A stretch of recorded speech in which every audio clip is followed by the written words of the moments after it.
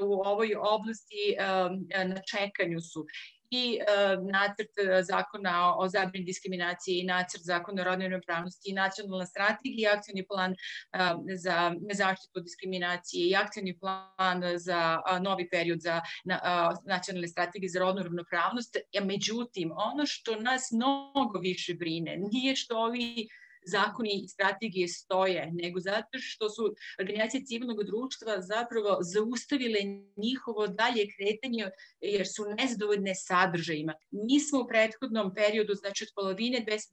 godine u ovoj oblasti imali organizovane procese javne konsultacije, rasprave, proforme.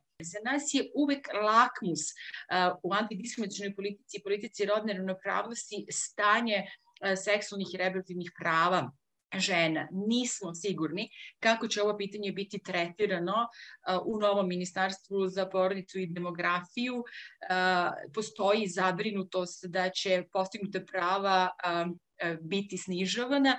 Kada je reč o nasilju nad ženama, to je druga velika tema koju mi pratimo, Dakle, takođe nismo uopšte primetili da su preporuke iz izveštaja Grevio ekspertske grupe koja je izveštavala o primjeni e, Konvencije Saveta Evrope o sprečavanju nasilja prema ženama i nasilja u porodici koji su dobijene januar ove godine na bilo koji način uticale na bilo šta pa uključujući i na reviziju e, plana 23, poglavlja 23. Ministarstvo pravde, evo tamo ću taj primer reći, je na poslednjem javnom konkursu za dodelu sredstava koje se inače prikupljaju od Instituta odlaganja krivičnog gonjenja, nije predložilo ni jedan projekat koji se tiče žrtava, ne samo žene žrtava nasilja, nego žrtava krivičnih dela za, da, da dobije sredstva iz tog fonda koji je za ovu godinu bio 4 miliona 250 hiljada eura.